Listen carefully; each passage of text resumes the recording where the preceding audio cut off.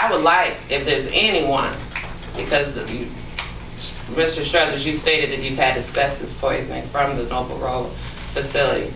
If anyone has any type of medical documentation such as asbestos poisoning, as Mr. Struthers has stated, please submit that to the city. Um, we, we can't now, I do know that there's been ongoing testing and that testing has come back as not having, as not having any type of, um, levels that are harmful. Now, that's been consistent, and they're testing weekly, and they've been ongoing testing.